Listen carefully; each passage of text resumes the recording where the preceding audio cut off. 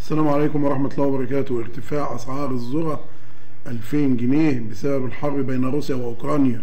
قال عبور العطار رئيس شعبة الحاصلات الزراعية لمصراوي أن أسعار الذرة الصفراء ارتفعت خلال الأسبوعين الماضيين في الأسواق 2000 جنيه للطن بسبب الحرب بين روسيا وأوكرانيا. وأضاف العطار أن متوسط سعر طن الذرة الصفراء يصل إلى 7300 جنيه مقابل 5300 جنيه قبل الزيادة وتستحوذ الذرة الصفراء على نسبة تتراوح ما بين 60 و 70% من مكونات علف الحيوانات وتستورد مصر الأعلاف من أمريكا والبرازيل وأوكرانيا ولكن النسبة الأكبر يتم استيرادها من أمريكا بحسب نبيل درويش رئيس اتحاد منتجي الدواجن سابقا لمصراوي.